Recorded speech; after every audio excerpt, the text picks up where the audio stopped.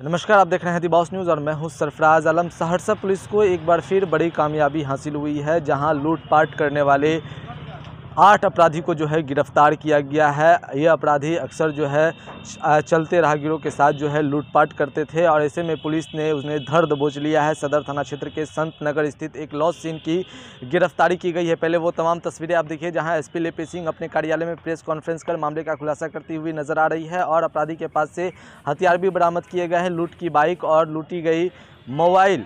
भी बरामद किया गया है। एक देसी पिस्टल, एक एक देसी कट्टा, एक देसी एक पिस्टल और चार ज़िंदा कारतूस, एक मोबाइल और एक लूटी हुई बाइक भी बरामद की गई है। पहले एसपी लिपि सिंह क्या कुछ कहती है? पहले उनकी बातों को सुनिए। दो बजे रात्रि में हम लोगों को सूचना मिली कि जो रंजीत सिंह लॉज के पास, पश्चिम में बास बिट्टी है, वहाँ पे काफ़ी मात्रा में अपराधी जमा जमा हुए हैं और कुछ घटना को अंजाम दे सकते हैं। घटना का सत्यापन करते हुए टाउन थानाध्यक्ष सुधाकर, साथ में पुवनी अविनाश कुमार चंद्रजीत प्रभाकर एवं अन्य टाउन थाना के जो कर्मी थे, उनके द्वारा रेड की गई और बासबिट्टी में जब पुलिस पहुँची तो फिर वो लोग इधर उधर भागने लगे। खदेड़ करके आठ अपराधियों को पकड़ा गया है। आठों का आपराधिक इतिहास है। चार वो उसमें से सहरसा के हैं और चार सुपौल के हैं। जिसमें मुख्य जो है, वो है मोहम्मद हैदर, टीपू सुल्तान, मोहम्मद माशूल, अभिषेक कुमार और चार व्यक्ति जो हैं, ज्योति कुमार, राजकिशोर शाह अजय कुमार और भवेश कुमार, ये सुपौल जिला के हैं।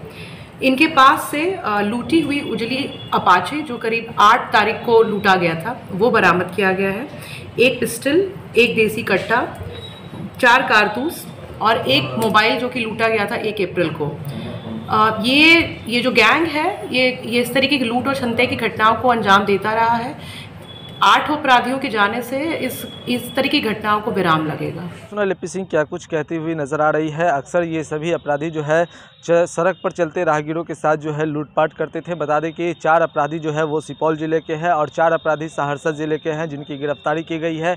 और एसपी लिपि सिंह ने बताया कि इनकी गिरफ्तारी के बाद जो है, शहर में, ज़िले में जो है, लूट की घटना में विराम लगेगी, क्योंकि अक्सर ये अपराधी जो है लूट की घटना को अंजाम देते थे तो कहीं ना कहीं सदर थाने की पुलिस के लिए ये बड़ी कामयाबी है और बड़ी कामयाबी हासिल हुई है। सदर थाना अध्यक्ष सुधाकर कुमार द्वारा की गई है छापेमारी के दौरान यह कामयाबी हासिल की गई है।